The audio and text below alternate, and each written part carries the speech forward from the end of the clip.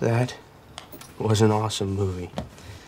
See, but you know, just because it's black my movie doesn't mean it's automatically terrible. No, I never said that. You have this idea of me, and it's not. No, no I don't. No, it's cool. You know, I, I get it. I know I haven't been exposed to that much stuff. Yeah, I, I was never allowed to go over to a friend's house because my parents were worried about bad influences. And then if I, I met a kid with cool baseball cards that they were okay with, we'd move. It sucks.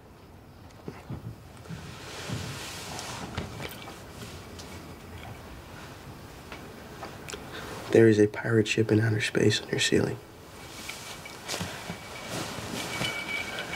My mom painted it.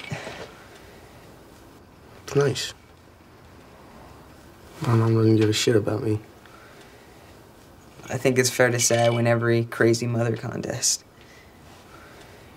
Fine, but I win every my mother's a fucking horrible person contest. To, to mother issues. You're lucky, Marshall. Your mom's there for you. Look what she made you. Hmm.